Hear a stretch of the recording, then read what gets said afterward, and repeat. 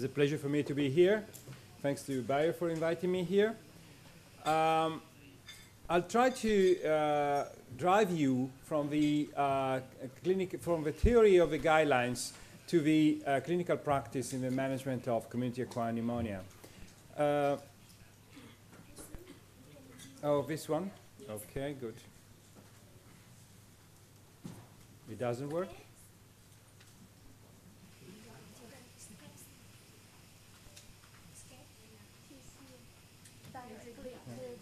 Yeah? Here?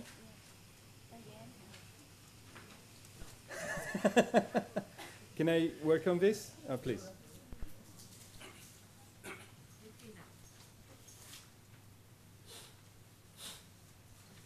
Well, we can start with my disclosure, just for your information. And well, I can say next if you want. Yeah, yeah. Yeah, okay. So we can go to the next one, please. And next. Okay, uh, just to, for starting, a, uh, a question. Uh, the, the early use of appropriate antibiotic therapy is essential for improving mortality outcomes in critical ill patients. Do you agree?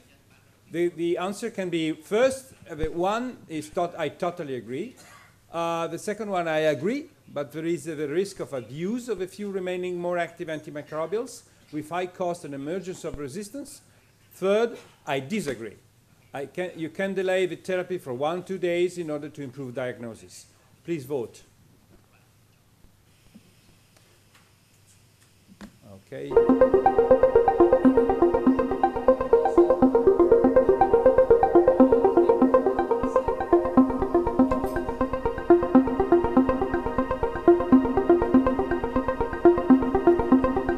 Second.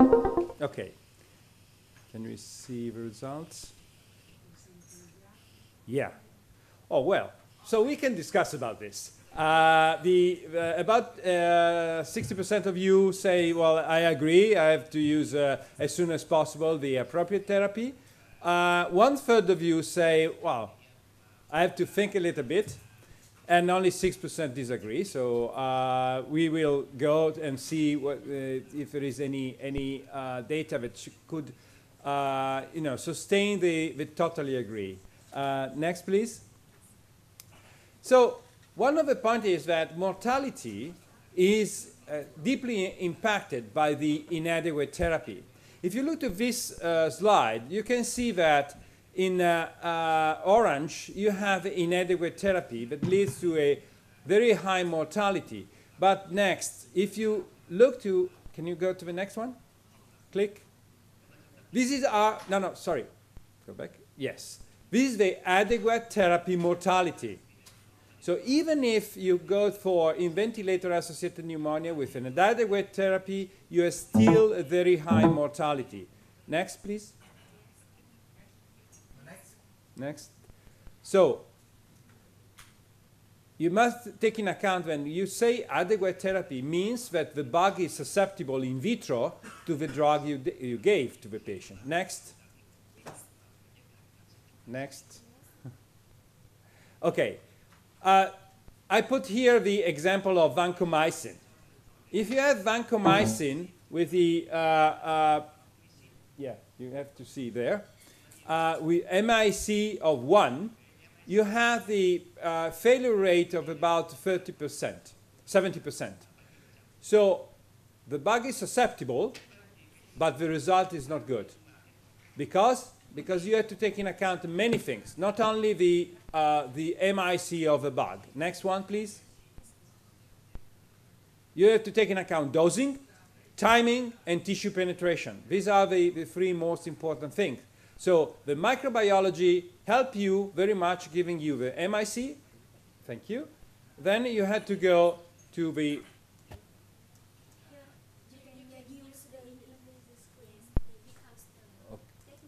Okay, good. Now it's working. Uh, yeah. So the, the main problem is that you have to take in account many things. Uh, the site of infection, the antibiotic you use, the bug plus MIC, and certainly the patient. The, the problem is that you had to take in account an early recognition of infection, adequate treatment for sure, and then you had to go as soon as possible to the right drug, select the appropriate drug, and most importantly, you had to treat them, the, take in account the PK/PD data. One of the problems is that different antibiotic, different PK/PD. If you look to beta-lactams, beta-lactams are time dependent, you know very well. So you have to go to a very high level, the high level over the MIC of the drug for the longer time you can do.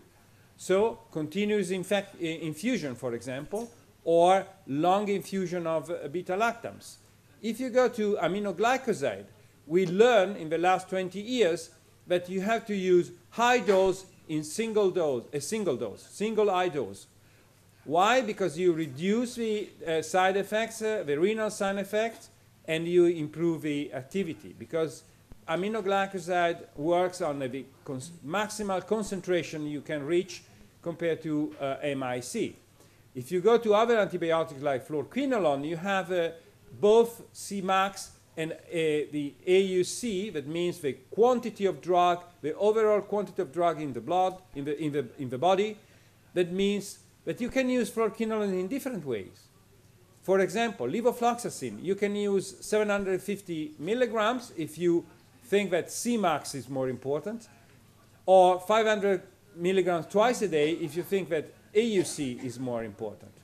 Clearly, you pay this with the uh, more side effects if you use 500 milligram twice a day with a, a higher efficacy probably, and you uh, gain a, high, a good efficacy with 750 milligrams, but in, with less side effect. The other, the other antibiotics works in a mixed way, and so you have to know what, uh, the antibiotics and the PKPD, so you can dose the drug in the best way and use the drug in the best way. Because in this way you can decrease toxicity, you increase efficacy, and you decrease the resistance uh, appearance of, uh, in, in the bugs. What about timing? Timing is important. The question was early, soon?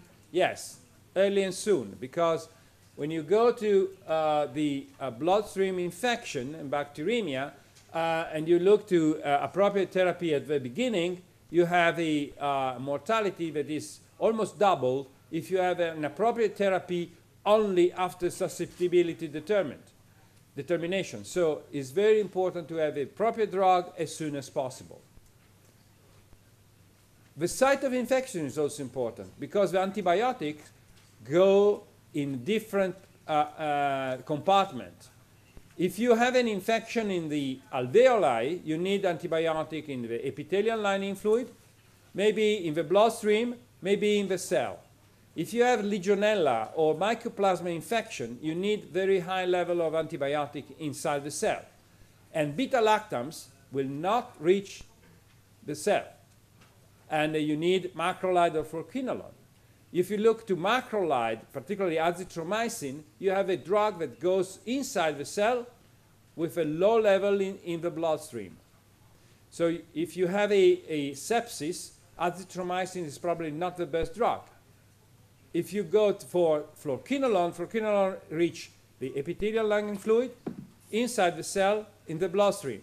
So it's very well uh, uh, in equilibrium in between the, the, the, the three compartments. So you have to choose the antibiotic also in a view of where, where the infection is. Let's go to another question. When you are choosing an antimicrobial agent and you are selecting the dose, do you consider the physiological changes that are occurring in your critically ill patient? One, no. Two, yes. Three, interesting question. But how can I select antimicrobial agents and or dosing during physiological changes? Please vote.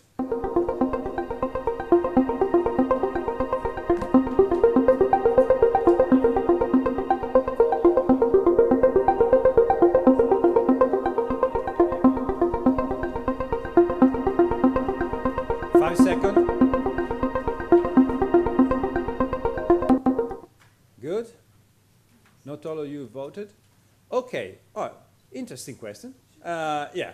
Uh, yes, for uh, the majority, just for 1%. And uh, uh, the, so we will discuss about the, the selection of antimicrobial and dosing during the physiological changes because it's quite interesting. Let's go. So uh, you can divide the antibiotic in hydrophilic and lipophilic. This means a different way to act of the, uh, the how the uh, antibiotic works in your body.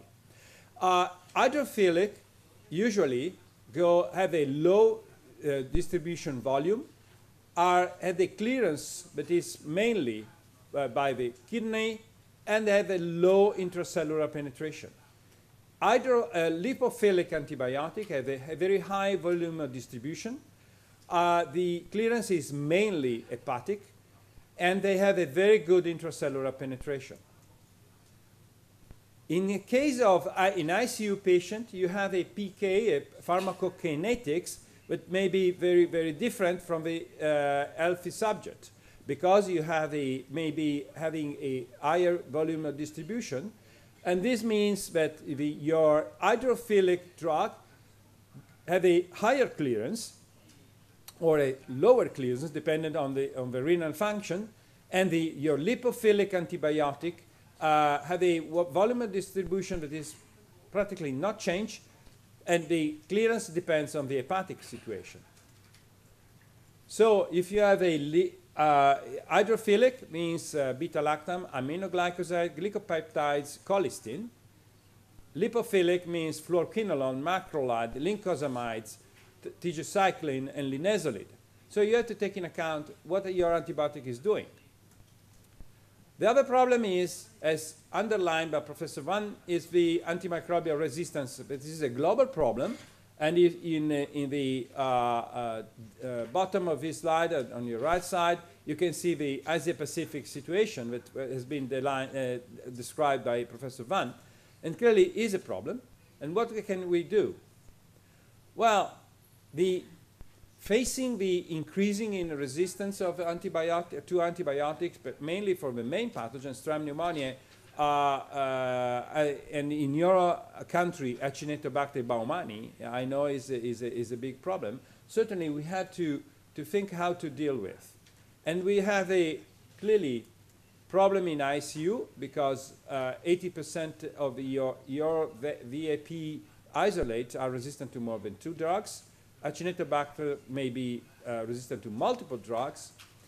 And uh, uh, gram-negative pathogens also are important, and are, uh, we have to deal with a, a, lot of resistance. But this is true also for strep pneumonia, because in your country you have a, a lot of resistance in, in strep pneumonia. So clearly the right use, the correct use, the appropriate use of antibiotic is very important. What are the risk factors for a patient coming from the community with a, a, a pneumonia and going to ICU? Uh, well, if is a long-term uh, mechanical ventilation is clearly related to risk factor in terms of resistance. The use of antibiotic is very important, particularly the third generation cephalosporin, fluoroquinolone, and carbapenem. But one of the main points is the inadequate choice and an inadequate dosing of antibiotic. Let's go to uh, the critically ill patient. Uh, you can have an increased volume of distribution. This means that you, are, you have a sepsis, so you lose fluid everywhere. The, this means that you increase the volume where the, the antibiotics should be distributed. And this may be Im important for hydrophilic antibiotic and you can have a clearance variation. So you have an increased clearance or a decreased clearance if you have uh, organ failure. This means that in the first case, when you have an increased clearance, uh, in, in, in, in uh, uh, increase in the volume of distribution, you have to think to increase the dose of the antibiotic. If you have any, a reduced clearance for renal failure, for hepatic failure, you have to reduce the, the, the, the dosage of the drug. So you have to look to the patient and find the right way to, to use the antibiotic. Another, another uh, question for you. Which pathogen is the most frequent cause of non-ICUs, ICU acquired pneumonia. First, Pseudomonas aeruginosa, methicillin-resistant staph aureus 2, 3 strep pneumonia, 4 Legionella, 5 Klebsiella. Please vote.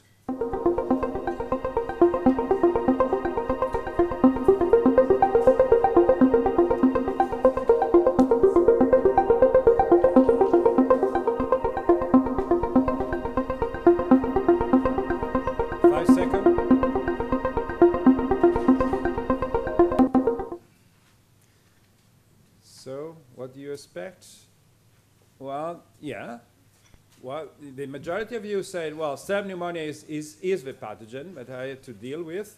And then I have uh, many others, Pseudomonas and uh, MRSA and so on. Let's look to the data. Certainly, strep pneumonia is the first pathogen, uh, even if gram negatives are, are important, as uh, Professor Van showed us. Uh, look into uh, the Asia situation. Uh, you, you, can see that in HAP and VAP, the situation can be different uh, in the different countries. And one of the points is this one. we published this paper uh, is a uh, uh, meta-analysis of uh, all the data that are uh, at, uh, published on non-ICU pneumonia. And you can see that you, you, can divide in early onset, late onset, and severe Uh, non-ICU uh, pneumonia. And uh, strep pneumonia is still the first pathogen, but if you go to with more severe uh, uh, pneumonia, you, you can have MRSA and Enterobacteriaceae as the uh, leading pathogen. let's go to the, the problem, sorry, to the problem of the fluoroquinolone activity because you have at least three different quinolone to be used and you have to, to take them in, in, consideration of the different bacteria. If you go to, uh, sorry, okay, uh, gram negatives uh, and gram positive, the uh, uh MIC level are quite different in the different uh, fluoroquinolone, and this means that you had to take in account the, the different approach. And clearly, if you look to strep pneumonia, we, it's clear that moxifloxacin is the first one. if you go to atypicals, again, moxi and levo are the two uh, more active drugs for atypicals. You know that there are uh, uh papers on uh, Legionella infection showing that fluoroquinolone are far better than macrolide in treatment of Legionella. Uh, for Pseudomonas aeruginosa, the ranking is completely reversed. clearly, Cipro is the most active.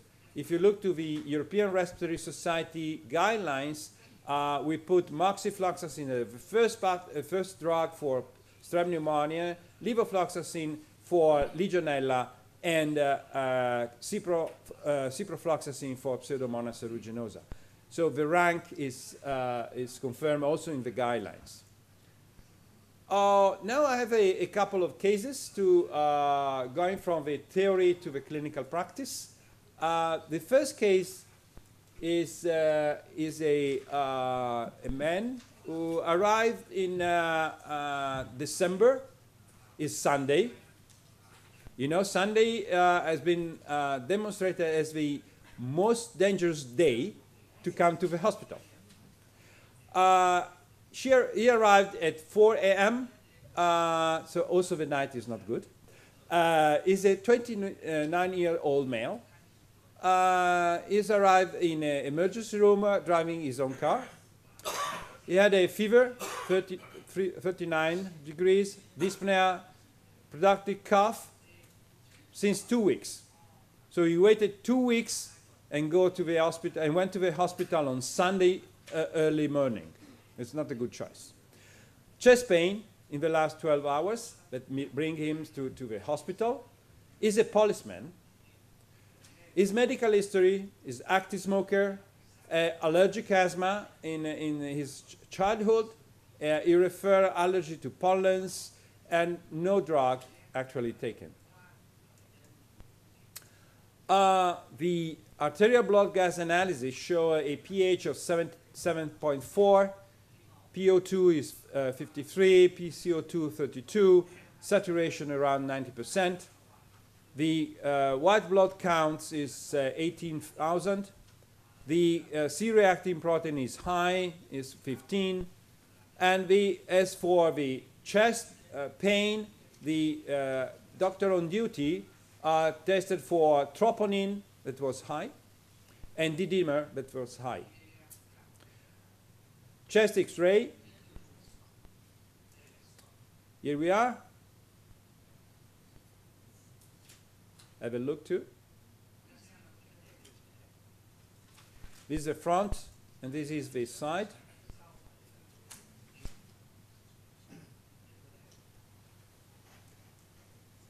So, your diagnosis. You are in the uh, emergency room, young man with a high troponin, high, uh, fairly high troponin, fairly high dimer, fever, cough, pulmonary embolism first, two, severe, severe bilateral pneumonia, three, severe exacerbation of COPD as a smoker, four, bilateral pneumonia and pneumomediastinum, five, bilateral pneumonia and myocardial infarction. Please vote.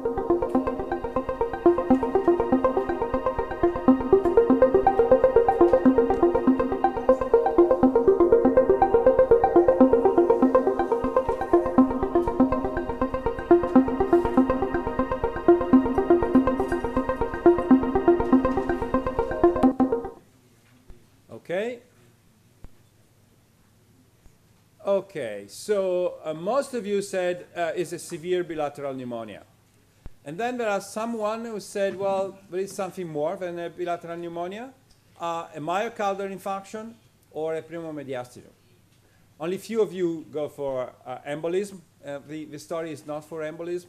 Uh, the uh, D-dimer may be high because there is inflammation. So, uh, well, let's look what happened. Uh, before going to the, well, you have to start a, a therapy.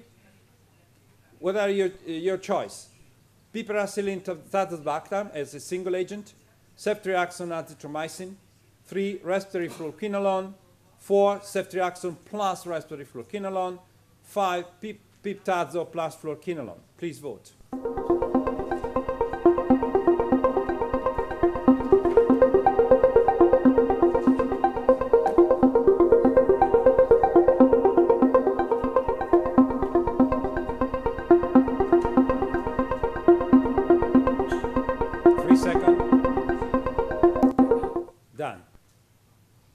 Let's look.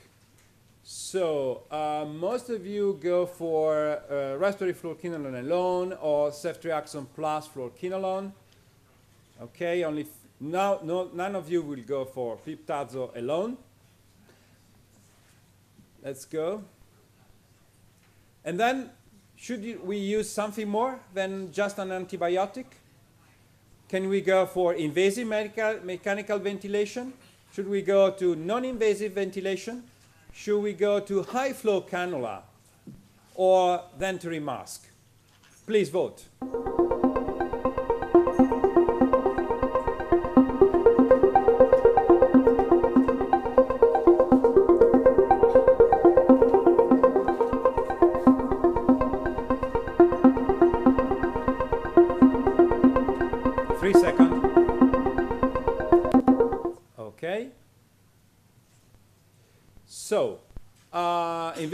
Mechanical ventilation, uh, none of us, almost.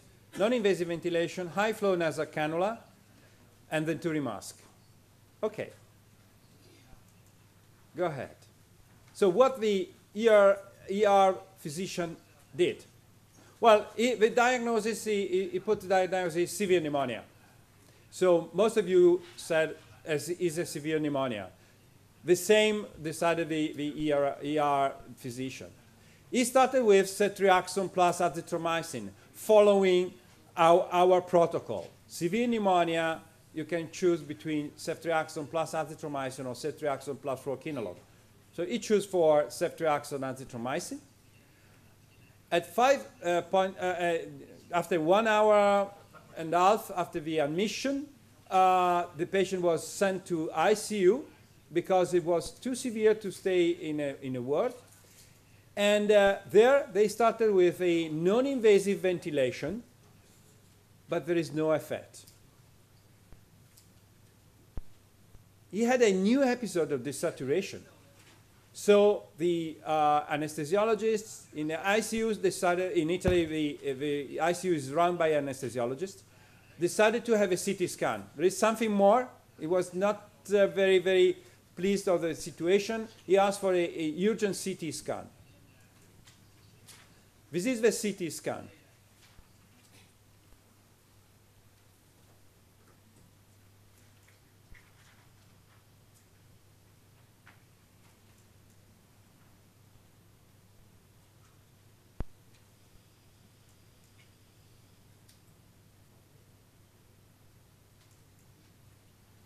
So there is a massive pneumomediastinum that is located in the anterior, middle, and posterior paraspinal paracardiac areas and a bilateral pneumonia. So there is something more than severe pneumonia. The problem is that if you use uh, non-invasive ventilation in this case, you increase the, the, uh, the pneumomediastinum. And in fact, the, the, the patient did not respond to NIV. So the uh, positive pressure was promptly stopped, and we go to high flow nasal cannula, as you suggested. And uh, the antimicrobial therapy was changed. Moxifloxacin, Piptazo, and Tamiflu was started. It was December, the peak of our influenza seasonal, uh, seasonal infection. Uh, the uh, blood gas analysis in high flow was good. Uh, there is an improvement of the patient we looked to the an urinary antigen. Legionella was negative. Strep pneumoniae was positive. The, they performed also uh, virus research, search, and they found Boca virus infection. And it, he also was tested for HIV because the age it was negative. With this treatment, the patient was discharged after 18 days. You know, the high-flow cannula uh, can help you when you have a uh, uh, pneumothorax and a pneumomediastinum, so it may be much better than using the NIV. Uh, the therapy was uh, changing in Piptazo Moxi because of the, the uh, presence of gram-negative anaerobes or whatever you, you can have. So at the end of the day, the case was done. Okay, let's go to the second one. Yeah, we have time, so we can go. This is another, another interesting case. It's uh, another man. Uh, he's an elderly man. He's 71. Uh, he was admitted for uh, dyspnea, fever, productive cough, and hemolysis. Uh, that was st started three days before the, the admission. He had a renal insufficiency and a COPD. Sometimes it's better to ask to a wife or the partner about the, the health of the, of the people. And then the, the wife said us, well, he had a high alcohol intake and he, he, he smoked a lot, a lot. He said, 10 cigarettes is not a lot, but you know. Let's go. On physical examination, drowsy, temperature was 39, the heart rate was 120, blood pressure 80 over 50, and the respiratory rate was 28. The uh, bilateral coarse crackles and rhonchi were present. Laboratory findings, uh, blood count is uh, 12,000, with most of them are neutrophils. The uh, hemoglobin concentration is fine. Platelet count is 91,000. The C-reactive protein was 60, it's high. Blood urea nitrogen is 280 and creatinine is uh, 18 milligram per, per, liter. And the only thing is good is the liver function. The arterial blood gas analysis, pH 7.25, PO2 is uh, 54, PCO2 is uh, almost 56, uh, lactate is 3.5. So, first of all, initial intervention, venturi mask, one, non-invasive ventilation, two, three, go directly to intubation. Please vote.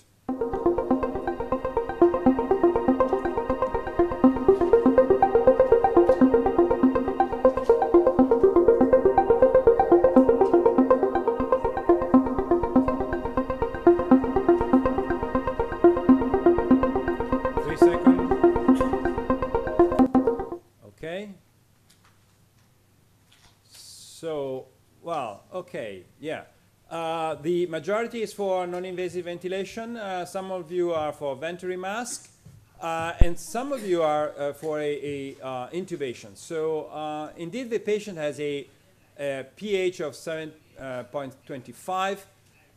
is an old man, but he has COPD and something, some problems. You know that the uh, rules for uh, ICU admission are quite different in the different countries. Uh, we are very conservative in the admission to ICU, and uh, uh, when you are old and you have COPD, sometimes you stay in, in the pulmonology department and not in, in the ICU. What happened? Oh, sorry, another question is uh, you go for chest x-ray plus CT scan and start an antibiotic, or chest x-ray, CT scan, microbiological sampling, and then antibiotic treatment. Please vote.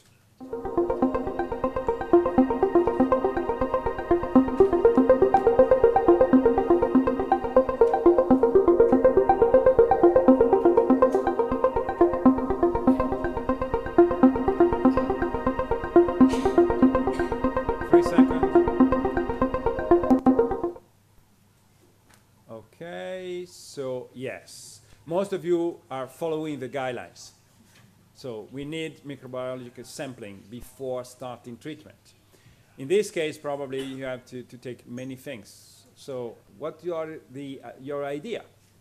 Should we go for sputum and blood cultures? Should we go to, for tracheal aspirate and blood cultures? Should we go to bronchoscopy, urine antigens, serology, swabs, or all of above? Please vote.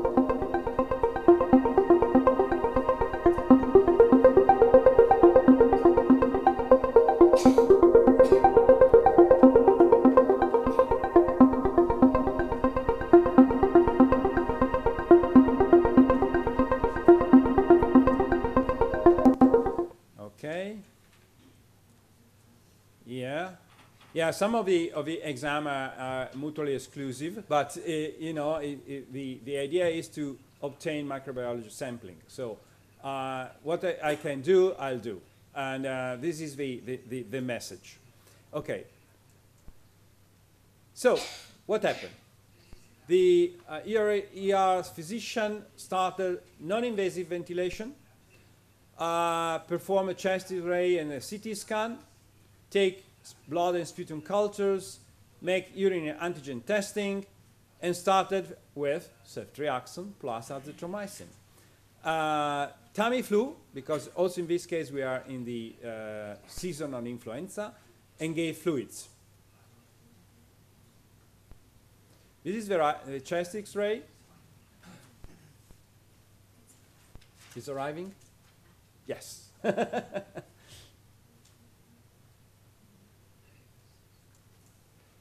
sorry, and a, a flash on the, on, on the CT scan. So, what happened to the patient? Well, after three days of azithromycin, ceftriaxone plus Tamiflu, really the patient didn't, didn't, didn't respond to the treatment. The uh, fever was still high. Uh, white, blood uh, white blood count is almost uh, uh, similar and CRP is going up. The arterial blood gas analysis on uh, uh, non-invasive mechanical ventilation is there is a, a fairly good uh, improvement with a pH of 733, PO2 is uh, 77, PCO2 is 45. Uh, lactate is still a high, it's still 3, it was 3.5. So the patient is not going well. Uh, there is a uh, urine antigen that are negative for Legionella and strep pneumonia. The nasopharyngeal swabs for viruses were negative. Blood culture negative. Sputum culture was positive for Acinetobacter baumannii, but it's not so uh, bad because it's susceptible to um, ampicillin sulbactam, piptazo, cipro, moxi, moxazole, amikacin, and imipenem. It was resistant to other beta-lactams. So the question now is, uh, uh, what does the antibiogram for uh, Acinetobacter baumannii prompt you to do? Change antibiotics, transfer to ICU and change antibiotics, transfer to medical world and change antibiotics. Please vote.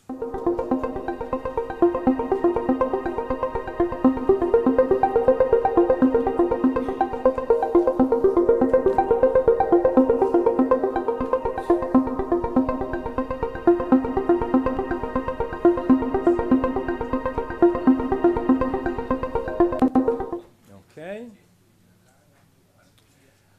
Okay, so most of you uh, correctly say, well, is a patient that is clearly not stable. Uh, there is a, a, a difficult to treat pathogen. I would send it to ICU and change the antibiotics.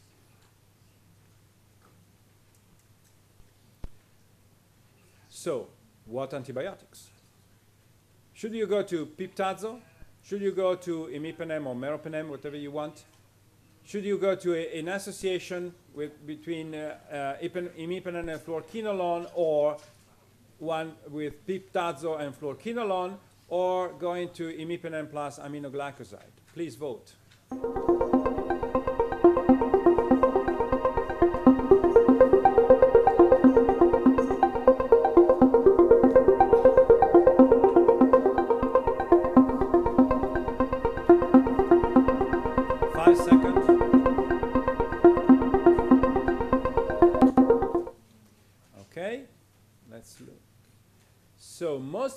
Go for imipenem fluoroquinolone, uh, one third pipa- piptazo fluoroquinolone, and that's it. Okay. So what we know is that we, if you use a fluoroquinolone and uh, you have an Acinetobacter uh, baumannii, uh, there is some data uh, that show that there is a uh, additive or, or synergistic activity with piptazo and cefep- cefepime. These are- in vitro data, so you have to take it as an in vitro data. It's not uh, in, in vivo data, but it's quite interesting. Uh, the decision of the, of the physician was to go for piptazo plus moxifloxacin.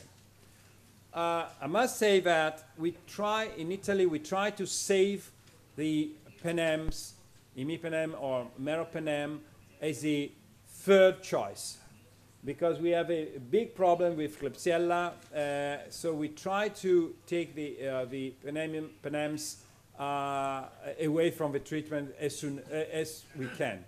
Uh, so we usually start with piptazo, with a combination with piptazo. Uh, in any case, the, the result of the, of the change of the treatment was good. The patient has a reduction in white, blood, white blood counts. The CRP is going down.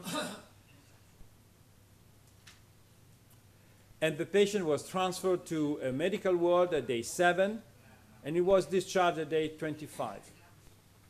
However, he died 35 days later for acute myocardial infarction. So you probably know that pneumonia is one of the main risk factors for myocardial infarction. And uh, we had, uh, and the, the reason for failure of treatment of pneumonia, community acquired pneumonia, not only uh, hospital acquired pneumonia, uh, one of the main points, about one third of the patient had a failure related uh, to cardiovascular problems. That may be major arrhythmia and myocardial infarction. What are the risks for dying of myocardial infarction after pneumonia? Here we are. A nosocomial infection, community acquired Acinetobacter infection is a clear risk factor for myocardial infarction. Alcoholism, and this patient was uh, a heavy use of alcohol, and leukopenia or normal leukocyte count that means a uh, immunosuppression in some way. So this case was well uh, managed, fairly well managed in the hospital. No one think to have a, a prophylaxis for myocardial infarction. This is a clearly open, an open question, and we are now discussing, uh, we are preparing the, the new guideline for severe community-acquired pneumonia by, by European Respiratory Society. And uh, one of the questions is the definition of severe pneumonia, but it's a it's quite open question. And the other one is the, the should we, one of the PICO question, you know that now the guidelines use PICO question. What, another PICO question is, should I use prophylaxis for cardiovascular event in, in, our, in, in patient with severe pneumonia? Because the, there are some data that's showing this, this correlation, but there is no indication to use any prophylaxis in this kind of patient. Should I go for aspirin or you know uh, for heparin or whatever. So still an open question, uh, and we can discuss with if you want. And uh, so the conclusion, we had to use early antibiotic therapy as soon as possible, as I said, because this can improve mortality and improve secondary outcomes of uh, severe pneumonia.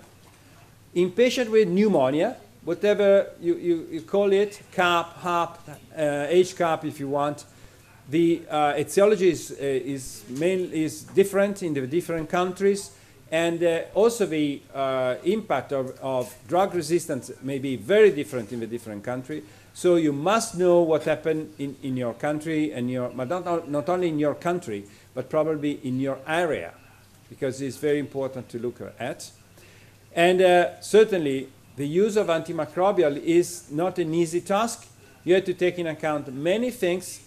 Uh, you, I show you a, a, puzzle of things that you have to take in account, but it's just uh, a, a, matter of uh, uh indication. We, you have a, a, lot of possible uh, in, in interference in the, in the use of antibiotic. So clearly, you need a good diagnosis, uh, you had to try to go to a pathogen-directed therapy if you have the, the possibility. Professor Van sh showed us the use of real-time PCR. This is great. It costs a, a, little bit, but it clearly gives you some uh, important information. And that the, the main point is to use your knowledge about PK/PD in the use of antibiotics. So going for the right dose, going for the right duration of therapy, going for the right way to administer the antibiotic. And this, I thank you very much for your attention. Uh,